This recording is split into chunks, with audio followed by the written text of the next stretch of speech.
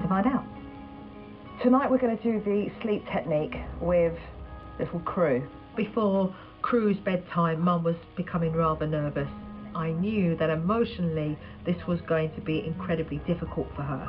For Mum, this represents not just about Crew sleeping in his bed. This represents emotionally something much bigger because Jenny feels quite guilty. So I knew that not only would I be settling Crew, but I'd also be settling Jenny as well. I explained to Mum that she would be the first to do the sleep separation technique. This is what we're going to do. We need to teach him that when he comes out of his bed, he has to go straight back into it, okay? You're going to sit like so. The crib is here. You're going to be at the corner of the crib facing towards the door. The sleep separation technique is we put Kruby in his crib and then you have to sit on the ground and listen to him cry in his room so that he sees you and you are actively ignoring him. As soon as he comes out, he's straight back in. No shh, no nothing, just straight back in. Okay?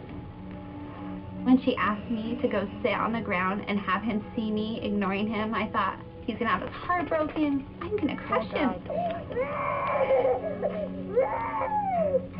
Was like, this is not gonna work, okay? I don't care how much experience you've had. This is my kid and it's not gonna it's not working for me.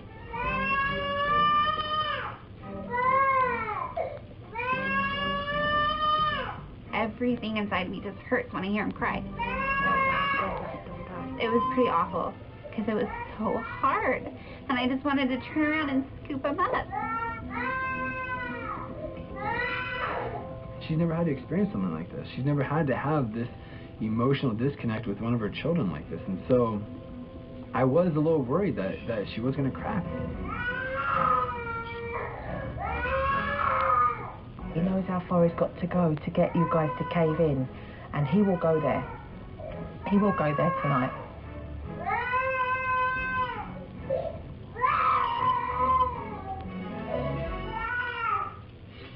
Coming up on Super Nanny. Crew pulls at mom's heartstrings like never before. My body just wants to go to him. And later, Jo fights to get dad's attention. Turn your face around and look at me when I'm talking to you. When Super Nanny returns.